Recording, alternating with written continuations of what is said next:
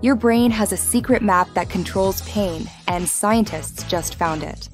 Using the world's most advanced brain scanner, researchers at the University of Sydney discovered your brainstem has a precise map for pain relief.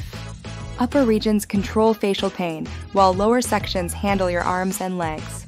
It's not just turning pain off, it's a coordinated, anatomically precise system. They tested 93 people using placebo pain relief a fake cream that convinced the brain it was working.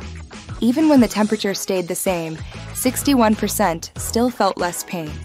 The brain's natural system kicked in, targeting specific body parts without opioids. This isn't your brain's opioid system. It's a different circuit, possibly linked to cannabinoids. It works in targeted regions, not your whole body. This could lead to precise, non addictive treatments for chronic pain, designed exactly where your brain expects relief to happen. A blueprint for how your brain controls pain. The future of pain management just got a lot safer. If this fascinates you, like and subscribe for more.